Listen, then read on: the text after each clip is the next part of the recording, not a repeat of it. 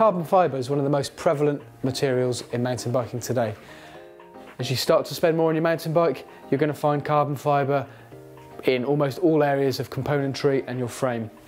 Uh, for example, this bike here has a carbon fibre handlebar, carbon stem, carbon mainframe, carbon cranks, seat post, seat rails, and even the arm on the derailleur is uh, carbon fibre.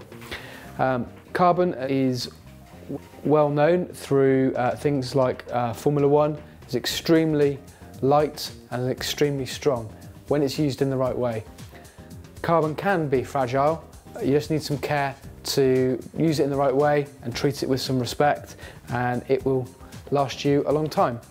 One of the key areas for mountain bikers to pay attention to is in clamping it.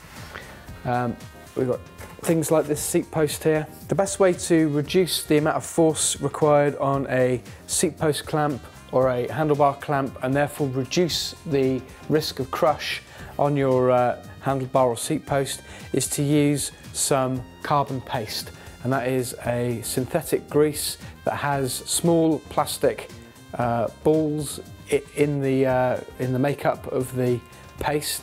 Uh, so small you can't really see them but uh, you can definitely feel them as you put the paste on. Put it on as you would a grease. So a little bit around the seat post, a bit more at the rear. Okay, and you can feel it. It's ever so slightly, almost gritty, except the fact that it's it's very, very fine. So there's plenty of that on the seat post. Pop that back in, work it down and you can kind of feel it being, it feels a bit weird, almost like it's tight or if you didn't know it was a good thing for it, you'd feel that that was doing it some damage, but believe me, it isn't. Okay, you line it up. If you know where your seat post is supposed to be, you can then do your clamp bolt back up. That's nice and firm on there.